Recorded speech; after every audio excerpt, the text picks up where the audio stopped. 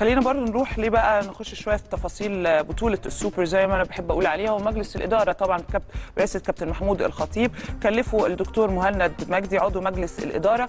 برئاسة هنا بقى بعثه الفريق الأول للكرة في مباراة السوبر اللي هتكون إن شاء الله يوم 5 5 أيام قليلة جدا بتفصلنا يعني بأبو ظبي تحديدا. وهيواجه الزمالك وإن شاء الله زي ما بنرجع نقول إن شاء الله الفوز يكون لصالح النادي الأهلي. هيكون المباراة وهتكون المباراه على استاد محمد بن زايد بأبو ظبي. وكل التوفيق. وعايزة أقول أرجع أقول لكم تاني التذاكر يا كريم خلصانة. طبعا ده ده مفروض. خلصانة من فترة. طبعا أكيد ف... أكيد. عايزين نشوف مباراة آه، رائعة ونستكمل سلسلة الإنجازات والانتصارات اللي النادي الأهلي حتى هذه اللحظة الحمد لله محققها. رغم الدروب اللي حصل في موسم ما رغم الثغرات اللي حصلت برضو في فترة ما إحنا اتكلمنا عن ده كتير. لما بنبقى في عندنا مشكلة على فكرة بنطلع نقول بس بنطلع نقول عشان إحنا عايزين نحلها.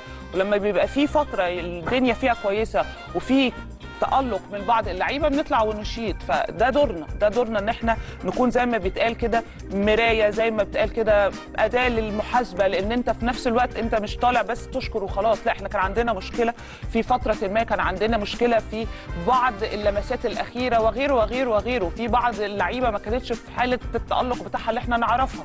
فاحنا طلعنا قلنا الكلام ده لكن لما تيجي دلوقتي وتشوف وقلنا برضه ده حتى وإحنا في الفترة الوحشة بتاعتنا كريم أو الفترة اللي كان فيها دروب قلنا سرعان ما بيعود النادي الأهلي مرة ثانية يقف على رجليه وبيعوض وبيراضي جماهيره. النقطة دي مهمة جدا فكرة إن أنت تراضي الجماهير بتاعتك حتى لو زعلتهم وفي الأول وفي الآخر الجماهير بتزعل مش علشان أنت بتخسر أنت عشان بيشوفك إنك كنت تقدر تفوز كنت تقدر توصل لمكانة أفضل.